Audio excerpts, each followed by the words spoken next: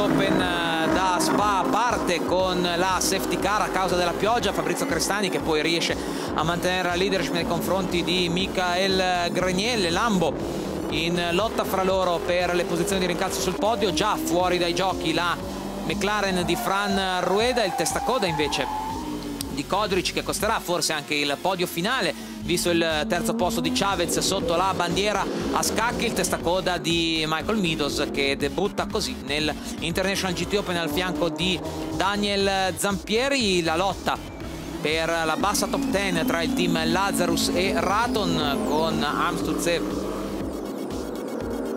la vettura di Onidi, il sorpasso che vale la vittoria, la leadership provvisoria per Ramos, salvo poi doversi guardare dal ritorno delle Lambo dell'Emil Frey Racing, qui Sidler va prima a prendere la seconda posizione ai danni del team imperiale, poi infilerà anche alla Source il portoghese di casa SPS questo invece è il recupero di Albert Costa che va prima in terza posizione poi in seconda con una sportellata però ai danni di Miguel Ramos costretto a cedere la posizione. Il pilota spagnolo decide così di scendere dal podio facendo passare anche la McLaren per scaricare l'handicap in vista di gara 2 in quanto ora in vetta alla classifica appaiati a pari punti ci sono le due vetture dell'Emil Frey Racing Sidler e Grenier e Costa Altoè